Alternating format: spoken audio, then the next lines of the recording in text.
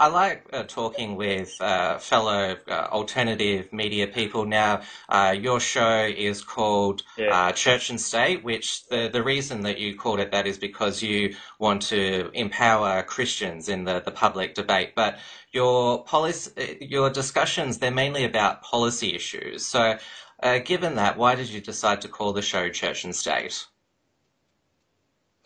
Uh, well, there's a uh, really good intersection um, where Judeo-Christian values and teaching and and moral principles um, intersect with uh, with policy, with public policy.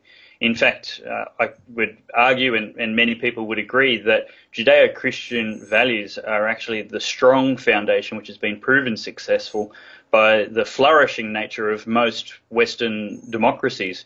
Um, and it's actually the abandonment of those principles that are starting to see those societies and liberties being undermined. One of the, the key principles is the, the theological doctrine of imago Dei, which means every one of us has the image of God. And that means every one of us should be treated equally with justice for absolutely everybody. Um, so the important thing is that you don't have to believe in God or be an adherent to a Christian faith to benefit from good ideas. Now, as a believer in God, I think God has some pretty good ideas, but I don't need to say Leviticus to be able to argue those ideas. And, and here's where the the the conflict happens, or the misunderstanding happens with a lot of lefties uh, who actually resent and describe a Christian participating in political debate as an imposition of beliefs. Uh, and that's just not the case because we live in a democracy. The only people that get to impose anything on anybody are the majority. So 50% plus one get to impose good or bad beliefs on the minority. There, there is no imposition other than when we're eroding freedom. So if I come and say Leviticus and fail to impress upon anybody the merit of, of uh, my views and, and policies that I'm espousing, they're not going to be persuaded, they're not going to vote for it, and there will be no imposition. But if I can come along and say, look, the the best interests of children and the erosion of freedom and you know the the ideal environment in which to raise a child are all sustained and promoted by traditional understanding of marriage. Therefore, we shouldn't um, you know muck around with natural institutions. Then some people will be persuaded by the logic and the merits of the argument, and I didn't need to mention scripture at all. Now, the truth and scripture should align perfectly all the time. And I'm very open to being persuaded that I'm wrong. So where church and state becomes the intersection that I want to explore is simply I want to explore good policy. I want to attempt to persuade people who disagree and I want to listen to people who disagree and that with an honest and intellectual approach to discussing what is best for our society, then we can together find truth. It's not about left or right winning, atheist or Christian. For me, I just want Australia to win.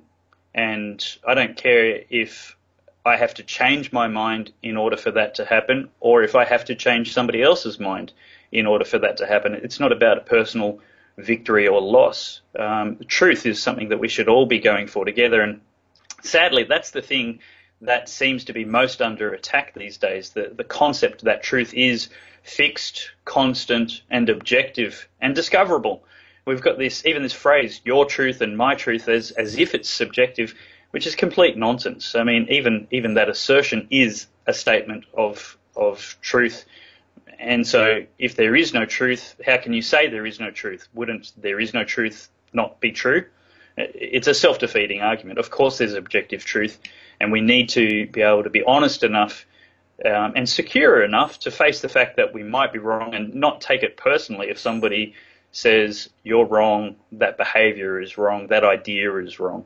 Um, it's not a personal attack; it's a philosophical attack. Yeah, I definitely think that it's you know immature of people to you know just see the name you know church and state and say you know ooh you know the, this is this you know Christian person trying to you know in, impose their uh, beliefs.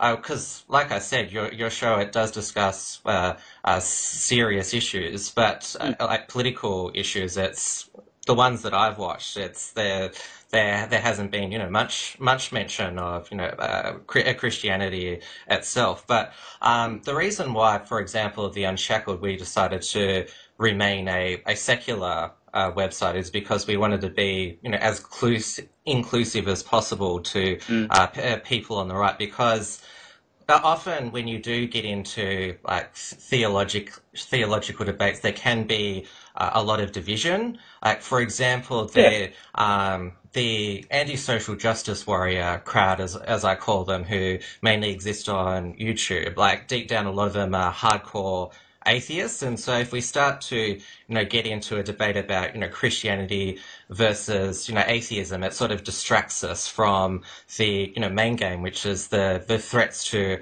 our freedom. And I certainly think that you're right that, uh, you know, we should have an appreciation of, you know, Judeo-Christian uh, values, but we, we, mm. we, we need to make sure that, you know, we, we can understand that, you know, we can disagree on, you know, the existence of God, but still, uh, realize there's a, there's a bigger picture here.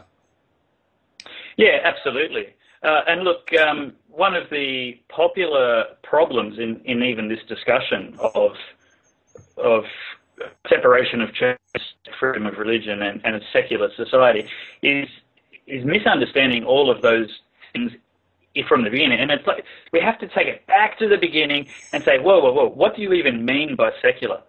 Now, most people that object to the presence of a Christian or a Christian thought in a in a secular debate is they they think that secular means French style secularism, where Christianity, religion, faith, belief is completely excluded and expelled from public life. Uh, you're not allowed to mention God. You're not allowed to mention belief. You're not allowed to argue those things. If you're a teacher in a public school, a public servant, you're not allowed to even wear a cross in, in the classroom or at, at work. It's uh, this complete exclusive secularism that goes on in France, which a lot of people think all secularism is, but it's simply not the case. That's not Australia, that's France.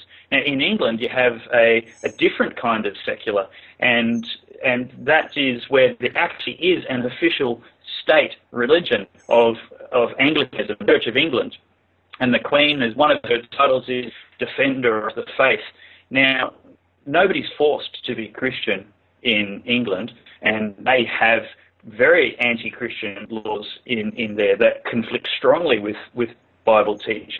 So there's no imposition of faith either. So there is an official religion in England, but there's plenty of atheists, agnostics, and, and Christians all mingling well to form that kind of secular society. In Australia, we have the third kind, and I think it's the best, and I like it, and I'm going to defend it. It's a pluralistic, inclusive secular society. There is no state religion. But every idea, every worldview, every philosophy is welcome to put forward persuasive argument and to attempt to influence the debate for, for what they think is a good idea. And this is fantastic. We need a free market of ideas where nothing is given an advantage and nothing is excluded or limited or, or handicapped. And nobody's going, oh, separation of church and state, in this misunderstanding of, of what secular actually means. And uh, for the record, church and separation of church and state is not protect the government from religious idea and people with a moral compass. It's actually for protecting the church from the undue influence of, of government, which is what reference was to when jo- Thomas Jefferson uh, mentioned that in a, in a letter to a um, congregation of Baptists in uh, Danbury, Connecticut, way, way long ago separation of church and state doesn't appear in any law or constitution in either Australia or America. It's just a phrase that was in some private correspondence where those people were expressing concerns to one of the framers of their constitution and wanted to know were they going to be exposed to the same kind of tyranny and imposition of faith by the government um, which the Pilgrims originally fled. The whole reason the American democratic experiment started was because they were looking for freedom of religion, not for protecting the government from religion, but for protecting the church from the government. And uh, so yeah, inclusive kind of thing that we need to understand. So I'm voting for for secularism. And you talked about division that happens when people mention uh, you know, Christianity and does God exist or, or does he not? That's a separate, separate debate. It's a separate conversation. Um, when we're talking about policy, it doesn't matter. I have to persuade you that I think this law is good on the facts, the evidence, the data, the logic. And that's one of the reasons why, one of the two reasons why I started um, my show, Church and State, was because I wanted to help Christians articulate good policy and even understand what good policy is uh, without having to reference scripture all the time. Because people who don't care about the Bible don't care about what the Bible says. The people who don't believe in God don't care what Leviticus says about anything. So the important thing is to say, well, here's this research, here's this study, here's this logical outcome when we you know, we can we can talk about economics or we can talk about uh, immigration or anything else. And and yes, the Bible has a position and, a, and an approach for all of those things, but it has those those positions for a reason. And you know, there's a scripture that says, "Don't be conformed to the world, but be um, transformed by the renewing of your mind." God wants us to bring our mind to our faith, and not just to go because the Bible says so. And it's that engagement of minds that, that we need to promote and we need to be comfortable with as conservatives. Everybody right of centre needs to be able to come to that debate and come to that conversation and articulate why they believe what they believe. And look, Christianity is just one form of belief. Atheism is another. Uh, Buddhism is another. There's, there's this worldview and this approach that you have and bring to every debate. And to ask somebody to take out their heart, or take out their experience, or, or take out their convictions before they come to a debate, that's not secularism, that's totalitarianism, dictating an imposition of, of beliefs. And no freedom, liberty loving person should be in favour of that kind of exclusive secularism. This has been an Unshackled Fast. Please like, comment, and subscribe. While you're here, grab our free ebook at theunshackledbattlefield.net and visit theunshackled.net for all the latest news and commentary.